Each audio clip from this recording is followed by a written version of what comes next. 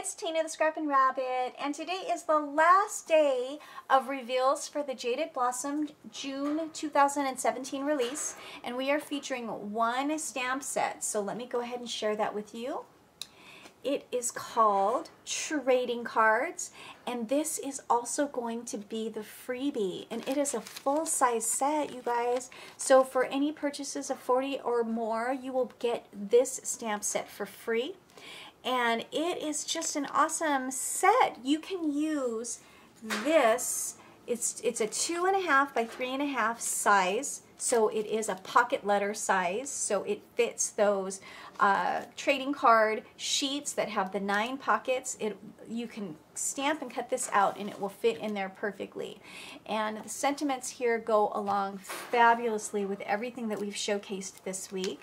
So you get in this awesome font, mythical, magical, strength, dragon, potion, honor, fire, and wish, and they all fit perfectly into this little spot here.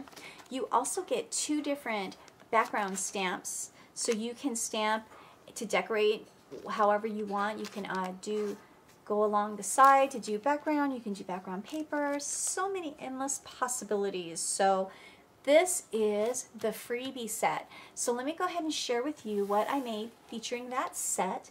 I decided to make a gift box and I did it in a unique way. So this is a, it's a big project. It's a 3D potion bottle gift box. so here it is and I'm really happy with how it turned out. This is an SVG that I cut with my Cricut from my Scrap Chick. And I've been wanting to use this cut for a while and I thought, what no better time than the present because with this awesome release, it really just inspired me to break out some of this 3D stuff. And so I thought that this little dragon would just be perfect to decorate it. And then I added a tag and of course I used the trading card stamps for this background. And as you can see, I cut it out, I stamped embossed, and then I did add a lot of sparkle. So I'm hoping that you can see the sparkle here. The dragon I did color with my Copics, and then I added a little black rhinestone bling. And so that is the front of the gift box, and it does open up. Look at how cool. Look at how much room you get in there. I can fill this up with so many crafting goodies for a crafty swap or for a friend. And then I did create this tag to go along with it and I used the new label shape dies.